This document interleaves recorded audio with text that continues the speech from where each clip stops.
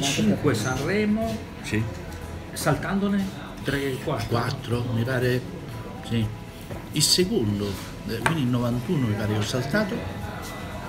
E poi ci fu un anno, E poi un anno che, che io stavo all'estero e. e, e- ci fu e- una rivolta popolare perché si seppe che... No, no, no, quello è stato, quando stato è tre anni fa questo. Eh, tre anni fa. Eh, o, o due o tre anni fa. Si sparse la voce che non eri a Sanremo Sì, e due fu anni. una... Era un no? Sanremo di Conti, se- era... Due Eh, anni e fa. Era Conti quello della Maria. Raffaele. Ah, c'è, c'è C'era pure la Maria De Filippi, c'era anche Conti e Maria. Maria. Eh, Conti e Maria, sì, ci stava, ci stava il... L'anno scorso quindi, cioè Allora, 2017. allora, l'anno prima, l'anno prima, allora adesso ricostruendo la storia, l'anno prima ancora saltai la prima serata perché tutti ne avevo un quantitativo enorme quell'anno, ne avevo sette mi pare, casualmente finirono tutti nella, nella seconda serata, quindi invece di cominciare il martedì, il mio festival cominciava il mercoledì, ma si sorprese pure mia moglie, anch'io, perché dissi, ma che sanno, sette? Possibile, Sette, tutti nella tutti seconda. alla seconda. Hai lavorato tutta la sera. Eh sì, sono stato tutta la sera presente il giorno- la sera dopo, è stata la sera dei fatti bravo, famosa, imbarazzante, perché lei era attesa al festival e alla seconda sera, ma si era creato questo caso il giorno prima, perché non so fu uno di Radio 2 che disse ma non abbiamo visto Vessicchio, cioè Vessicchio in quel momento è partito sui social perché il conduttore disse ma non lo so, non- Conti non Poi tu sapeva c'eri ovviamente. in realtà, però Io c'ero ma giorno dopo. giorno dopo. Per cui si montò questa, montò questa cosa e uscì anche l'hashtag escilo. Non me lo ricordo bene. Escilo. E de- di due ragazzi che poi ho voluto incontrare perché voglio dire, sono stati. Eh, ecco, hanno coniato la- un unico termine Che comunque, insomma, fa piacere, Abbiamo, dai, abbiamo riso insomma. subito, no? Tutti, Eh, certo. escilo, sintetizza tutta una serie di cose. Fa piacere. E, e insomma mi. Tanti anni con Pippo, un episodio, Baudo, insomma, Baudo un anno straordinario, de- fu l'anno di Elio e le storie tese, perché quando comunicai a Elio che Stiamo parlando della bisog- terra dei cacchi. la terra dei cacchi, quando a Elio che bisognava fare un taglio del brano perché c'erano gli highlights, c'era il venerdì sera ci stava una piccola parte del brano da suonare per ricordare al pubblico il giorno dopo sarebbe stata la finale quindi bisognava ricordare al pubblico come era il brano in gara perché mi pare che il venerdì era dedicato ai giovani. Eh, allora chiamai, chiamai Elio e dissi che Baudo voleva la riduzione di un minuto del brano quindi scegliere bisognava fare un taglio e Elio disse non se ne parla proprio. Perché dissi ma come?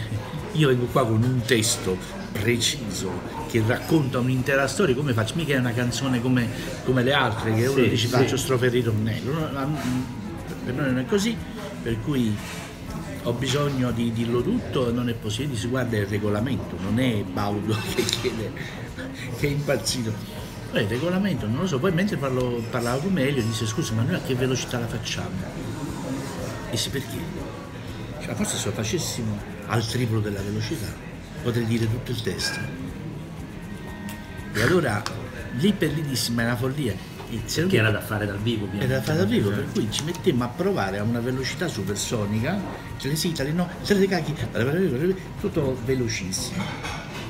E durava un minuto e cinque. Non riuscivo a farla più veloce, un minuto e, dieci.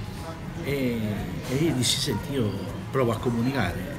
Quando dissi a Pippo questa cosa, dissi Pippo, sai, non vogliono, cioè, non vogliono tagliare i testi, lo devono fare, perché lui poi era imperioso.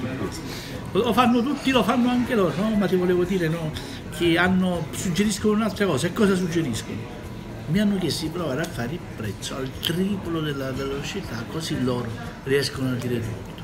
Pippo in un attimo è riuscito a immaginare la cosa e poi mi ha detto non dire niente a nessuno.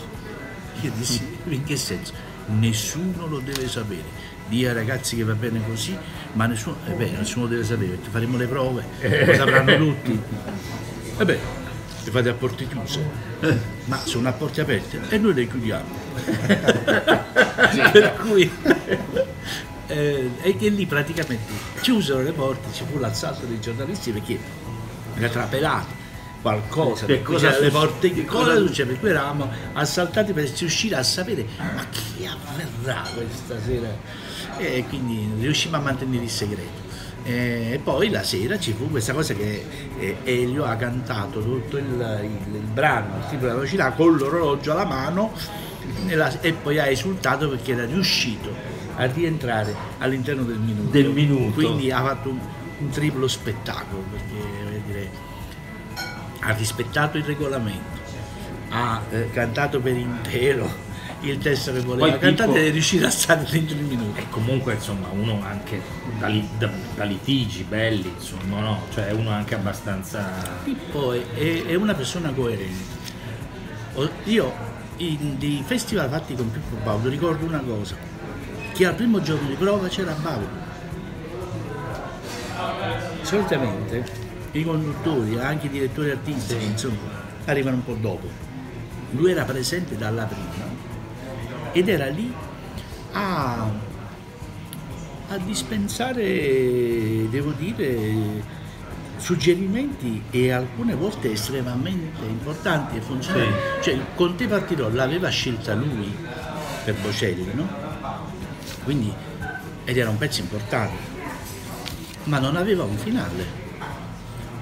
E finiva, ehm, finiva in una maniera... mm, eh, io con te praticamente, io con te non c'era Sì. gliel'ha fatto fare in prova. Sono dovuti correre Ancora ci studio. campano a Formentera, al- al- al- nel bar dove fanno al Pirata Bus, dove al tramonto fanno Conte Partirò, Eh. che parte esattamente quando il sole scende e finisce quando Io tramonta. con te. Bam. Eh. Eh, quello non c'era io con te. Quello io con te eh, fu una richiesta di Baudo.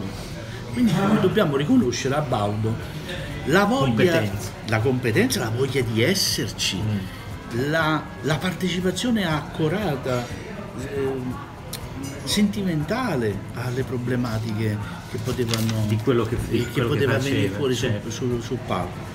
E io onestamente nessun altro, e questo non, non tolgo merito né a Fazio né a, né a Conti né ad altri, e neanche a Bonoso, ma una figura come la sua sul festival, Non, non non, non so se neanche se ci sarà, Eh, sì, sì, sì. non so neanche se ci sarà più.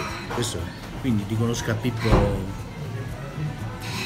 Senti, questa la tua- passione. La tua invece passione attoriale, veniamo alle Sì. cose.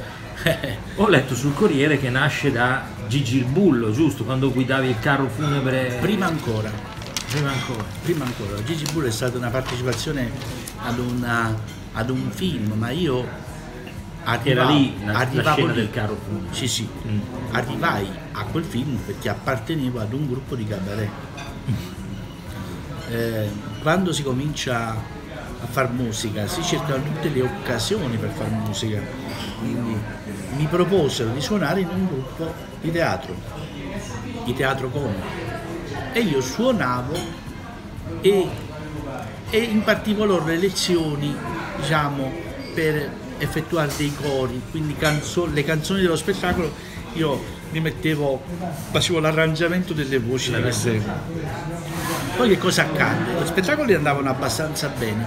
Uno del gruppo, una ragazza, lasciò il gruppo e, e c'era il problema di capire come risolvere la questione.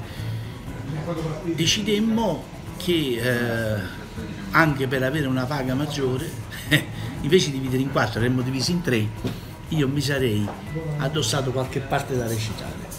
Per cui dissi va bene così, partì col recitare e poi pian piano la cosa eh, diciamo eh, è cresciuta fino ad arrivare a, a fare qualche, a, a fare proprio un spettacolo in, in Italia con questo gruppo che erano i 3-3 Ah, con i 3-3. con i 3-3 poi che cosa accadde? Che una volta andammo ospiti di un programma televisivo e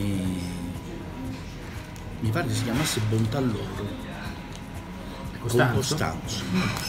C'era l'orchestra di Dino Siani. Io E io in quella circostanza dovevo invece stare insieme agli altri due, Mirko e Edoardo, e dovevo suonare e dovevo recitare. Io mi sentii male perché avevo alle spalle l'orchestra. Tra l'altro in quel periodo io già lavoravo come musicista nelle realizzazioni di dischi, quindi voglio dire, ero- già, avevo cominciato la professione musicale e l'idea di stare lì davanti all'orchestra e se- e sentire questa separazione tra la mia famiglia alle spalle e, eh, e questo ruolo che avevo divertitamente accettato, ma cominciava a pesarmi perché io volevo fare il musicista. Eh, quella- il quarto dei 3-3, diciamo. era il, il terzo tre, tre, perché il non c'era. Gino, Ah, non c'era ancora Gino. non c'era Gino. E io a quel punto, quella sera ho fatto come fanno le golf, eh, ho dato il preavviso, ho dato 30 giorni, che sono diventati tre mesi perché non si riusciva a trovare chi dovesse, chi potesse sostituirmi perché sarebbe venuta a mancare la parte musicale. Eh. E se non che Gino, che era stato uno che avevamo frequentato eh, Gino Cogliandro. Gino Cogliandro, molti anni prima, perché anche lui aveva fatto delle cose con gli altri due attori, recuperarono Gino e Gino prese il posto mio e fortuna volle per entrambi veramente, perché io avevo, devo dire, siccome eravamo e siamo ancora tanto amici, l'idea di lasciarli, di lasciarli in difficoltà mi Sì, pesava molto. pesava, eh, certo.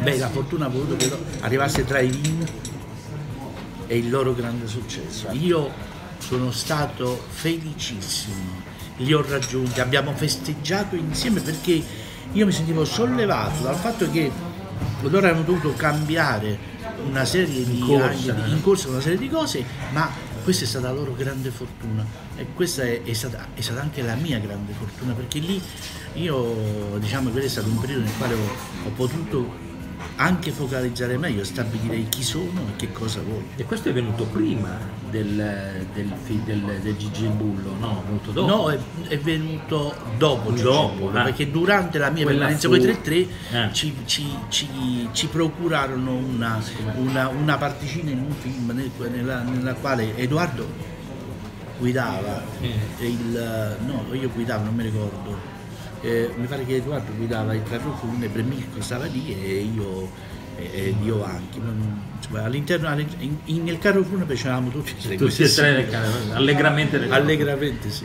E eh, invece adesso in eh, Monster Shop fai te stesso, allora in Monster Shop faccio me stesso. Che è una cosa che tocca a pochi, nel senso... Eh, effettivamente sì, Eh, cioè, è- è non la testimonianza vengono eh, chiamati certo, a fare ma non tutti vengono invitati, voglio dire, quindi già ricevere le imitazioni eh, è il segno di, eh, di uno stato particolare di, di riconoscibilità. Eh, I capelli bianchi eh, una volta erano neri e devo dire che sono invecchiati più in televisione che a casa, perché sono,